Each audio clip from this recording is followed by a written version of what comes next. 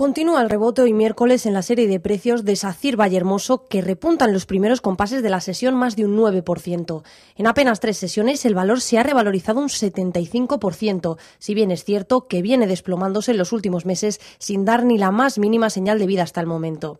Las fuertes revalorizaciones de los últimos días le permiten cotizar en las inmediaciones de la resistencia de los 2 euros, primer nivel de resistencia y niveles en los que lo más normal es que veamos un alto en el camino.